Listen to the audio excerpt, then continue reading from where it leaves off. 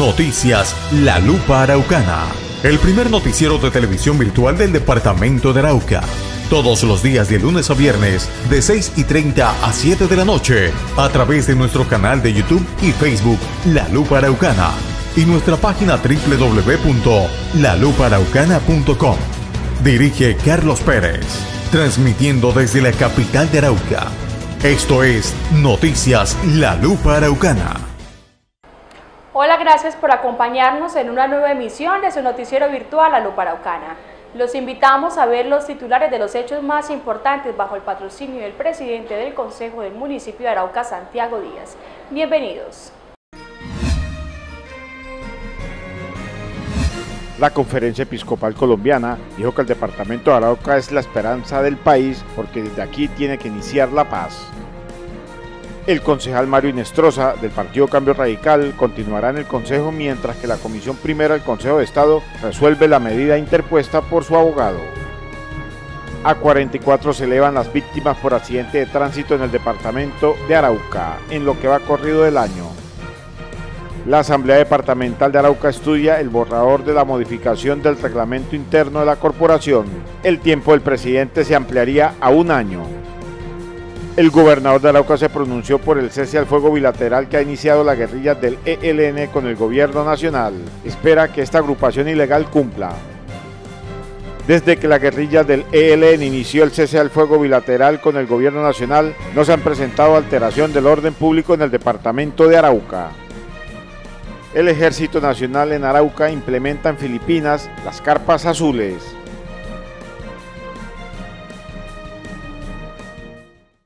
Y la Conferencia Episcopal Colombiana dijo que el departamento de Arauca es la esperanza del país porque es aquí donde debe empezar la paz para toda Colombia. Para la Conferencia Episcopal Colombiana, el departamento de Arauca es la esperanza del país porque esta región es la media Colombia. Es una región en primer lugar de mucha esperanza.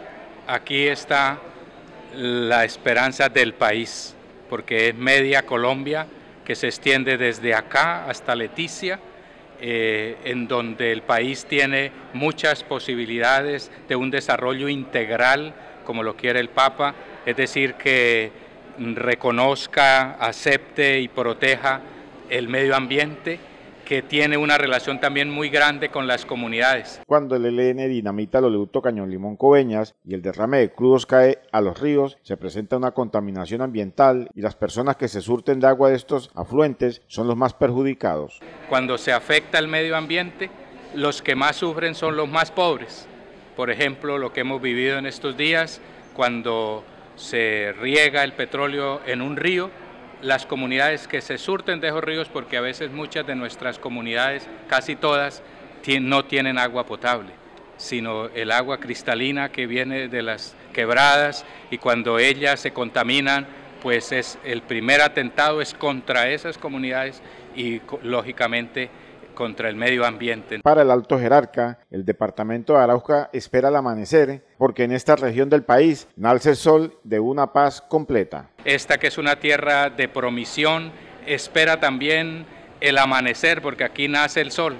También espera el nacer del sol ya de una paz completa para el país. Y yo creo que la Eucaristía que hoy vamos a celebrar le vamos a pedir con, con toda nuestra fe a a Monseñor Jesús Emilio que Él nos ayude, Él que luchó por esta tierra, que su sangre derramada aquí en esta tierra no sea en vano, sino semilla de crecimiento, de progreso, de fraternidad, de paz para Arauca y desde Arauca para todo el país. A la hora de la beatificación de Jesús Emilio Jaramillo fue una gran alegría para la Iglesia Católica de esta región. Una inmensa alegría porque en su sencillez, en la profundidad de sus reflexiones, en el testimonio comprometido con los campesinos.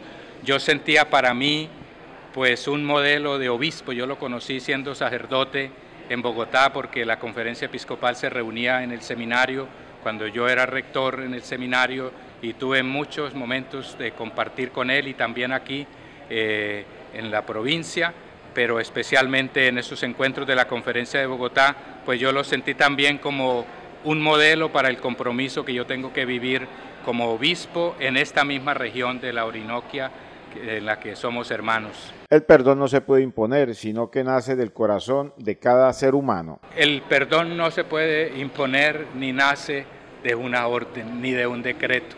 Es algo que brota del corazón y primero tenemos que pedir esa capacidad. El perdón es un, es una, es un árbol que no está en ningún vivero y que no nace así en cualquier jardín humano, es divino.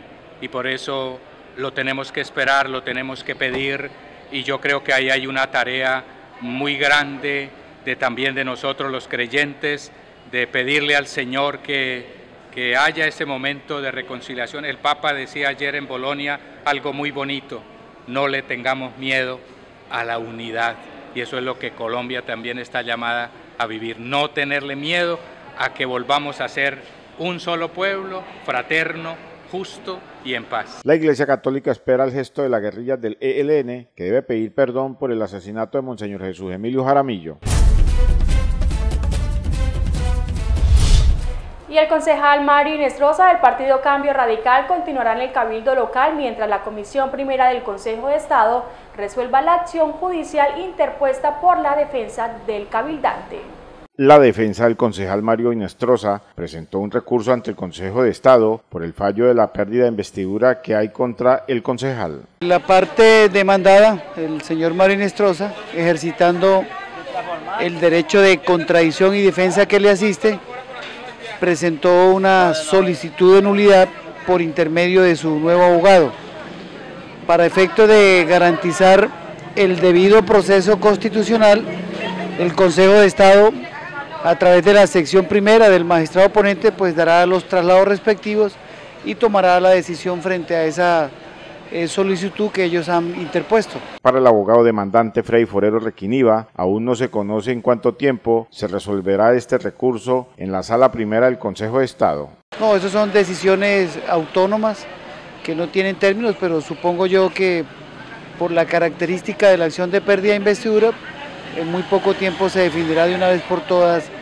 el litigio que allí está planteado. Mientras tanto, el concejal Mario Inestrosa del Partido Cambio Radical seguirá ejerciendo sus funciones como concejal de Arauca. Obviamente, él, sigue siendo concejal como efectivamente lo está haciendo y, y pues está utilizando un mecanismo que la ley se lo permite. El demandante espera que el Consejo de Estado resuelva la solicitud del demandado antes que finalice el año 2017. Y a 44 se eleva el número de víctimas en accidentes de tránsito en todo el departamento de Arauca. Las dos más recientes se registraron en los municipios de Tame y Arauca. A 44 se elevan las víctimas por accidente de tránsito en el departamento de Arauca en lo que va corrido del año. Los dos últimos se presentaron en Tame y en la capital araucana. Con altos niveles de preocupación expresamos que son 44 las víctimas fatales que completa la accidentalidad durante lo que va corrido del presente año en el departamento. Los últimos dos hechos fatales son uno en el municipio de Tame, en inmediaciones de Betoyes, en la vía que comunica con la ciudad capital, un vehículo automotor tipo automóvil por presunta invasión del carril contrario, se topa de frente con un vehículo tipo doble troque y dada cuenta de esta situación pierde la vida un ser humano más. En Arauca Capital, un motociclista, al parecer en estado de embriaguez, se salió de la vía en el barrio Las Cabañas. A estos hechos se suma lo ocurrido en el barrio Cabañas del Río de la ciudad de Arauca, donde un motociclista al parecer, bajo efectos del alcohol, al parecer por exceso de velocidad, pierde eh, la vida horas después de haber sido trasladado al Hospital San Vicente de esta ciudad. Lamentablemente, el lugar de los hechos fue movilizado el automotor en el que se habría presentado la situación, sin embargo, el informe ha sido puesto en conocimiento de la Fiscalía General de la Nación, que revisa este como los demás hechos fatales en los que están involucradas personas por cuenta de fallas en el comportamiento humano. De otro lado, el Instituto de Tránsito y Transporte de Arauca realizó los comparendos pedagógicos en el municipio capital, donde 250 personas asistieron. Este martes 3 eh, de octubre eh, tuvimos el comparendo pedagógico con base en el cual se perdonó, se exoneró del pago a 250 infractores que accedieron a la charla para garantizar que se multiplique, que se masifique, que se promueva el mensaje en seguridad vial que es y debe ser una responsabilidad de todos nosotros. En las vías del departamento de Arauca muchos conductores no utilizan sus elementos de seguridad. En la accidentalidad confluyen dos aspectos, la infraestructura versus el comportamiento humano. Generalmente el comportamiento humano hace mella, no hacemos uso del cinturón, del casco debidamente abrochado, no utilizamos los elementos reflectivos durante los horarios nocturnos y dada cuenta de esta situación y en virtud de que excedemos la velocidad o no respetamos las señales, se vienen presentando situaciones fatales. El número de accidentes es inferior al de años anteriores, el número de lesionados también es inferior al de años anteriores. Sin embargo, el número de víctimas fatales nos coloca en un deshonroso tercer lugar a nivel nacional en materia de accidentalidad. El 83% de nuestros vehículos no tienen revisión técnico-mecánica. El 71% de nuestro parque automotor no tiene seguro obligatorio para accidentes de tránsito.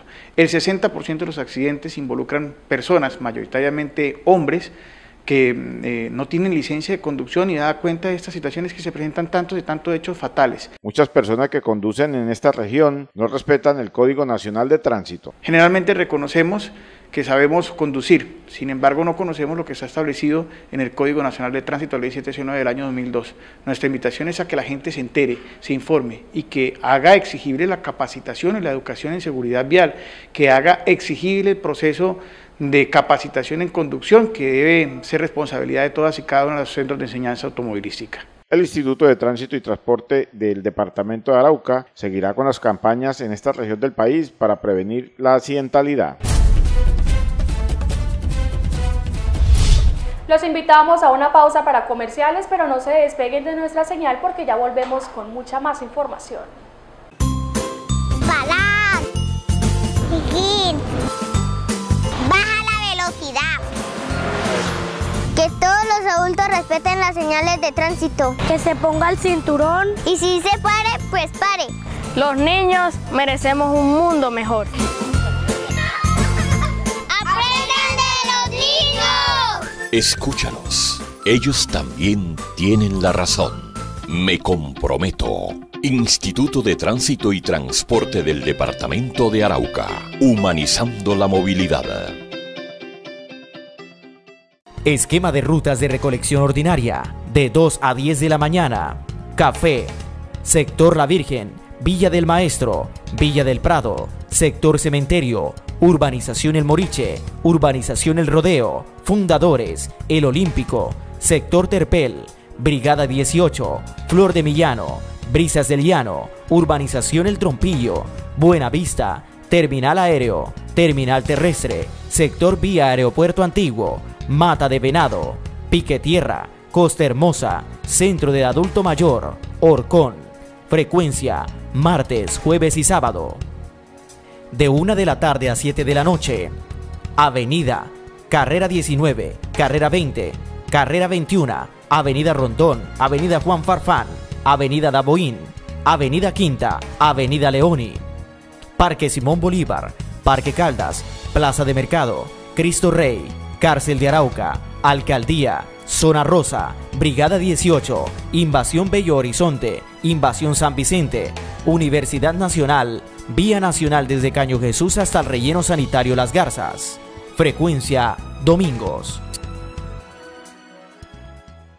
Y la Asamblea Departamental de Arauca estudia el borrador de la modificación al reglamento interno de la corporación. La presidencia se elevaría a un periodo de un año y la Secretaría General a dos. La Asamblea Departamental de Arauca estudia un borrador de la modificación del reglamento interno de la corporación. El tiempo de la presidencia se ampliaría a un año. En reunión que se hizo en Medellín, eh, donde hizo el Congreso de Presidentes de la Asamblea Departamentales, eh, se llegó a que en las diferentes departamentos existían reglamentos internos diferentes en cada, en cada uno de los, de los departamentos. Entonces se unificaron algunos criterios, entre esos está, por ejemplo, de, que el presidente hoy eh, nos repartió a cada uno eh, en qué consiste o cómo se pretende presentar este nuevo reglamento interno para que se estudie y posterior a esto dar el debate dentro de la plenaria interna para hacer la modificación. El tiempo de la presidencia de la Asamblea Departamental de Arauca es de seis meses, con la nueva modificación pasaría a ser de un año. Aquí tiene contemplado, en el caso de Arauca, por ejemplo, se venía trabajando con presidencias de seis meses y, en el nuevo reglamento interno viene presidencias por un año. Eh, lo mismo tiene que ver con eh, la secretaria general, donde eh, también estaba por seis meses y nuevamente se volvía a reelegir o se nombraba otra secretaria. Ahorita en el nuevo reglamento aparece por dos años quiere decir de que se está modificando este reglamento que tenía la Asamblea de Arauca, que era un reglamento ya de con, algún, con mucho tiempo. Para el primer vicepresidente de la Asamblea Departamental de Arauca, el periodo pasado se trató de modificar el reglamento interno, pero no fue posible. En el periodo pasado se trató, Carlos, usted es testigo cuando se trató de, de modificar este, este reglamento interno, pero no se pudo. Eh, quiera Dios que en este, en este nuevo ejercicio eh, se llegue a un acuerdo entre todos para que sea modificado este reglamento interno de, de la Asamblea de Arauca. De llegarse a aprobar la modificación del reglamento interno, el próximo presidente irá por un año. Claro que sí, a partir del 1 de enero entonces empezaría nuevamente a regir todo esto y esto quiere decir de que eh, tendremos, el, el próximo presidente va a ser por un año y no por seis meses como venía aconteciendo actualmente. La comisión que fue creada presentará el jueves un estudio del nuevo reglamento interno. Pues hasta hoy se presentó este, este borrador. Eh, mm, para el jueves se le da ya el, primer estudio. Se creó una comisión que está integrada por el diputado William Cárdenas, por el diputado Fernay Tique, por el diputado Hernando Henao y quien les habla Miguel, para que esto, estudiemos bien todo lo que tiene que ver con este reglamento interno.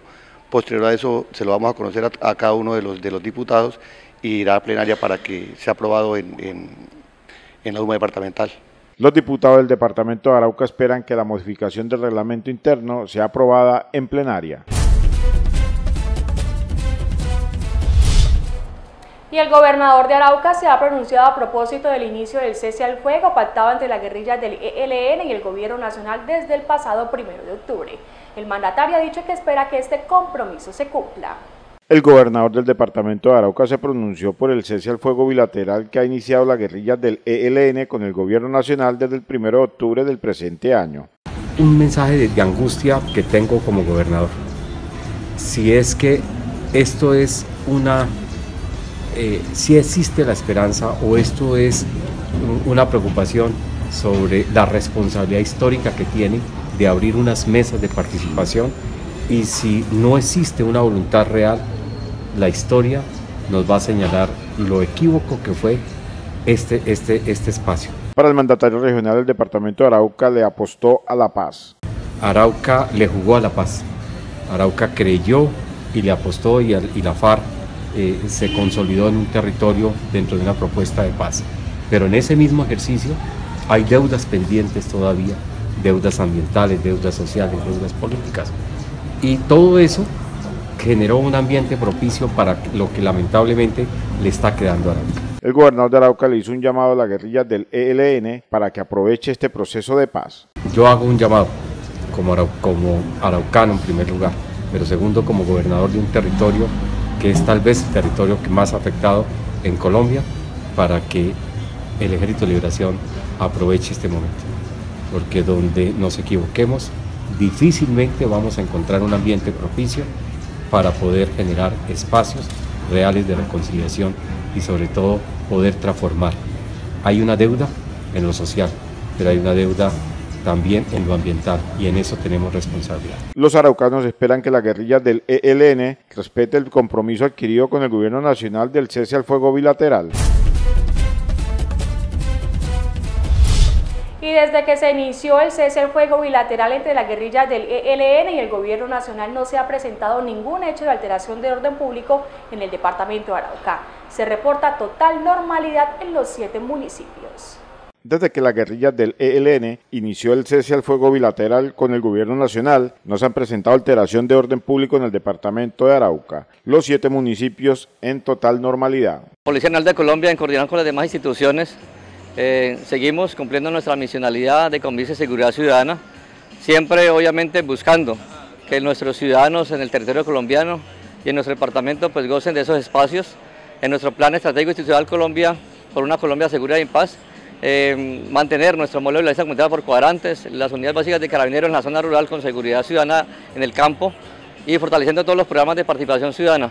Esto con el fin de que realmente nuestra comunidad, nuestra ciudadanía, pues tenga esos espacios indispensables con el apoyo de su institución policial y además pues buscando que se dé gobernabilidad y que la corresponsabilidad pues, se vea reflejada en buenas acciones. Los comandantes de las estaciones de policía no han reportado ninguna alteración del orden público en sus municipios. Bueno, no, este fin de semana tuvimos un parte satisfactorio. Nuestros comandantes de estación en cada municipio, en coordinación con sus autoridades, avanzaron en el tema de seguridad y convivencia. Afortunadamente, eh, la ciudadanía tiene una muy buena acogida y la solidaridad ha sido fundamental en este aspecto. La comunidad del departamento de Arauca están denunciando ante las autoridades. Sí, la comunidad es muy solidaria, realmente está practicando lo que es la cultura ciudadana y ya no se queda callada, informa a las autoridades para que se adelanten las investigaciones y nosotros como instituciones podamos realizar operaciones que desarticulan estructuras criminales. La Policía Nacional sigue realizando operativos con el fin de contrarrestar cualquier accionar de los grupos al margen de la ley. Los invitamos a una pausa para comerciales, pero no se despeguen de nuestra señal porque ya volvemos con mucha más información. Esquema de rutas de recolección ordinaria, de 2 a 10 de la mañana. Café, Sector La Virgen, Villa del Maestro, Villa del Prado, Sector Cementerio, Urbanización El Moriche, Urbanización El Rodeo, Fundadores, El Olímpico, Sector Terpel, Brigada 18, Flor de Millano, Brisas del Llano, Urbanización El Trompillo, Buena Vista, Terminal Aéreo, Terminal Terrestre, Sector Vía Aeropuerto Antiguo, Mata de Venado, Pique Tierra, Costa Hermosa, Centro de Adulto Mayor, Orcón. Frecuencia, martes, jueves y sábado. De 1 de la tarde a 7 de la noche.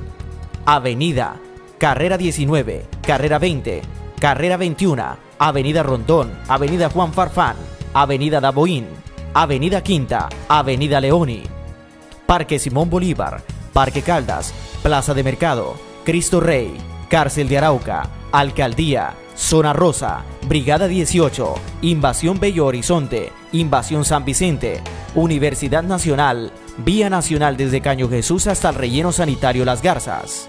Frecuencia, domingos. Estás en el viaje de la vida. Este es un viaje en el que estás al volante. Te llevan o ves pasar. Vas al trabajo, a tu casa, a estudiar a descansar. Eres conductor, peatón o pasajero. Respeta las normas y conduce pensando en los demás. No importa de dónde vienes, a dónde vas, lo que importa es que llegues y llegues bien. Me comprometo. Instituto de Tránsito y Transporte del Departamento de Arauca, humanizando la movilidad y el Ejército Nacional en Arauca implementa el programa Carpa Azul en Filipinas, la zona donde se encuentra concentrada la guerrilla de las FARC. Veamos a continuación este informe de la Oficina de Prensa de la Fuerza de Tarea Quirón.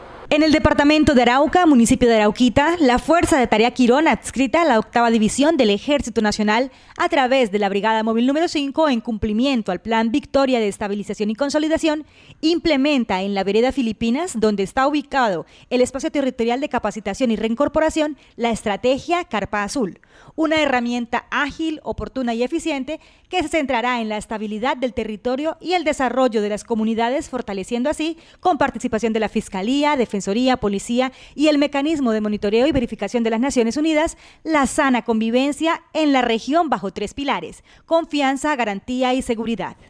La Carpa Azul funciona como un puesto de mando interinstitucional, donde de manera permanente se articulan las capacidades de las fuerzas militares, creando maniobras de reacción inmediata, comunicación en tiempo real y canales de atención de alertas. Con la llegada también de las autoridades em, civiles, ¿no? como la Defensoría, la Fiscalía, estamos hablando también de tal vez de la Defensoría y tal vez las otras entidades que están um, involucrados puntualmente, invitados puntualmente. Em, me parece que eso va a ser un espacio muy en cumplimiento de las políticas de mando y desarrollo del Plan Victoria de Estabilización y Consolidación, la Brigada Móvil número 5 con el Batallón de Operaciones Terrestres número 47 implementa la estrategia de la Carpa Azul, con el fin de garantizar la seguridad y control institucional en los espacios territoriales de capacitación y reincorporación, facilitar la estabilidad del territorio y desarrollo de las comunidades, mediante la identificación de necesidades